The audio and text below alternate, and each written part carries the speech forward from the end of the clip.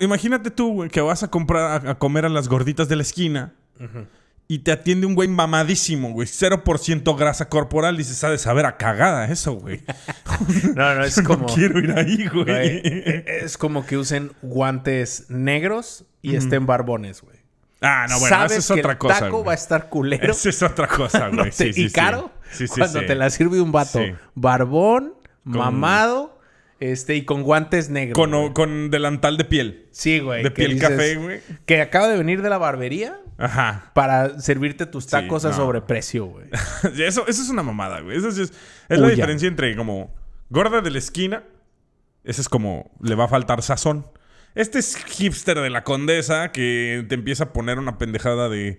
Quiere un poco de eh, jamaica deshidratada en sus tacos de Ah, lechón. Y yo, o sea que si quieres que le eche jamaica a mi paquito de pastor.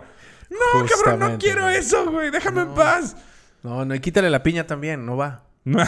Habrá quien esté qué de acuerdo, Políticamente incorrecto estuvo ese comentario. Creo que es de los que más incorrectos han. ¿Que hemos te ha molestado, güey? Sí, güey. ¿Te- ¿Tú consideras que el taco de pastor va con piña? Pues la historia lo dice. Que no es que me guste. historia, ¿eh? mamón? ¿Cuál historia? Ay, güey, no mames, ¿Dónde- yo he ¿En qué fotos- versículo de la Biblia Yo he viene visto eso? fotos de Benito Juárez chingándose un taco de pastor, güey. Trae una piña. con piña. No me mames, güey. Estás diciendo mamadas, vato. Güey, Este, esa, es, esa es una opinión rara, ¿eh, güey? O sea. Sí, es que a mí me gusta con salsa verde, Ajá. cilantro y cebollita. Sí, sí. Uf, pero, pero piña es como, güey.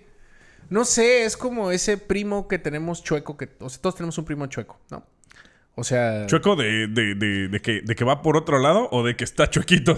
No, no, chueco de que hace. Porque tengo de los dos. De que hace. Este. Híjole, no sé cómo decirlo, güey. Crimen. Le gusta el crimen. Le gusta el dinero fácil.